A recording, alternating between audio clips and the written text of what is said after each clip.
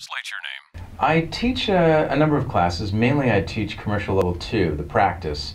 So by the time people get to me, they've had an introduction to commercials and they've had a chance to work um, in commercials and get a sense of who they are on the mic and a sense of what authenticity means.